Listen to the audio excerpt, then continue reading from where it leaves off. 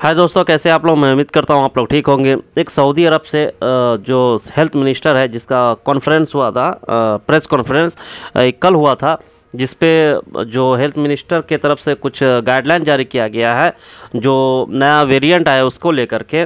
और एक ख़बर मैंने कल आप लोगों को बताया था कि जो दिल्ली एयरपोर्ट का हाल है, वो बहुत ही खस्ता हालत चल रहा है कि आठ आठ दिन पाँच पाँच दिन से लोग वहाँ पे बैठे हुए हैं, खाली पीसीआर टेस्ट करवाने वाले लोग। जो यात्री आ रहे हैं, उनका बहुत ही हालत ख़राब है।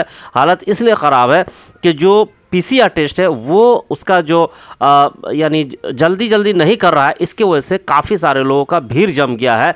और डेली का 1500 2000 जो यात्री आ रहे हैं, इसके वजह से।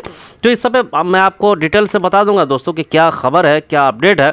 उससे पहले आप सबसे रिक्वेस्ट है कि चैनल को सब्सक्राइब, वीडियो को लाइक, शेयर ज़रूर कीजिएगा। तो चलिए सबसे पहले मैं आपको जो सऊदी अरब से अपडेट आया हुआ, वो आपको बता दूँ कि सऊदी अरब में कोरोना वायरस के नए किस्म ओमेक्रॉन के हवाले से अहम प्रेस कॉन्फ्रेंस की गई। अरब मीडिया के रिपोर्ट के मुताबिक इस अहम बैठक के दौरान वबा के ताज़ा सूरत हाल पर ममकना लाहिया अमल का, अमल के बारे में बताया जाएगा, लॉकडाउन लगेगा या नहीं लगेगा, इस ज़िमन में भी इंतज़ामिया शहरीों को आगाह करेगी। रिपोर्ट में बताया गया कि सऊदी वजारत सेहत के तर्जुमान डॉक्टर मोहम्मद अल अब्दाली कोरोना के ताज़ा तरीन सूरत हाल के मुतल आज प्रेस कॉन्फ्रेंस करेंगे।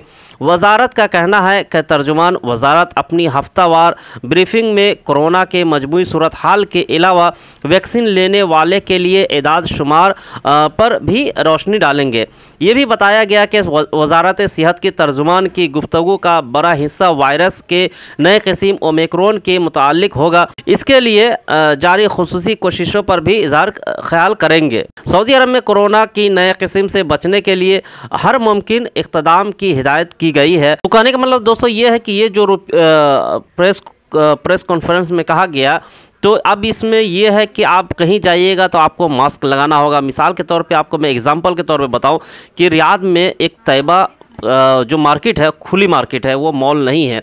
तो वहाँ पे, या एग्जांपल के तौर पे आप बता बथा ले लीजिए, रियाद में बथा है तो बता जाते हैं, या दमाम में सीको है, या जद्दा में भी और जगह है तो उस जो खुली जगह पे जाते हैं, वहाँ पे आपको सोशल डिस्टेंसिंग का ख्याल रखना होगा, नहीं तो आपको फाइन मार देगा। इसलिए अगर आप बाहर जाते हैं मॉल के अलावा खुली जगह पे तो आपको मास्क लगाना ज़रूरी है। दूसरी खबर है दोस्तों, जो दिल्ली से आया हुआ है, विदेश से भारत आ रहे यात्रियों को इंदिरा गांधी एयरपोर्ट, एयर पर ओमिक्रॉन नियमों के तहत कई तरह के दिक्कतों का सामना करना पड़ रहा है। कोरोना वायरस के नए वेरिएंट ओमिक्रॉन के मामले भारत में तेज़ी से बढ़ रहे हैं। ऐसे में विदेश से आने वाले यात्रियों को एयरपोर्ट पर कोविड जाँच प्रक्रिया में सहयोग करना पड़ रहा है। लेकिन ओमिक्रॉन के सख्त नियमों के वजह से एयरपोर्ट पर परेशान हो रहे यात्रियों की तस्वीरें काफ़ी चिंताजनक भी है। दिल्ली एयरपोर्ट पर कोविड टेस्टिंग प्रोसेस से गुजरने में यात्रियों को आठ घंटे से भी ज़्यादा समय का इंतज़ार करना पड़ रहा है। जिन यात्रियों को आरटीपीसीआर टेस्ट जल्दी से कराना है, उन्हें तीन हज़ार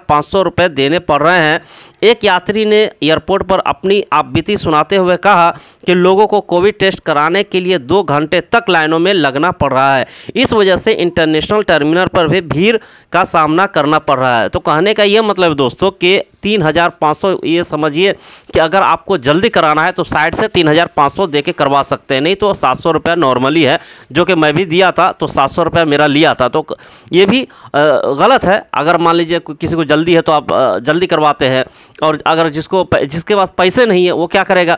तो ये चीज़ जो सरकार है, वो उनका गलती है। उन्होंने जो साधन है, वो सही से मुहैया नहीं कराया है। इस वजह से वहाँ पे भीड़ भाड़ है और ये चीज़ मैंने कल बताया था कि जो वीडियो मैंने देखा था, अभी तो मेरे पास वीडियो नहीं है, नहीं तो आपको मैं दिखा देता। जो वीडियो देखा था, इतनी भीड़, अभी ये जो फ़ोटो आप देख रहे हैं ना, इस फ़ोटो में देख के आप अंदाज़ा लगा सकते हैं कि एयरपोर्ट पे क्या हाल है। तो ये कुछ अपडेट था, मुझे लगता है वीडियो आपको पसंद आया होगा। अगर पसंद आया दोस्तों, वीडियो को लाइक, शेयर ज़रूर कीजिएगा और चैनल को सब्सक्राइब कर दीजिएगा। मिलते हैं दोस्तों, नेक्स्ट वीडियो में, थैंक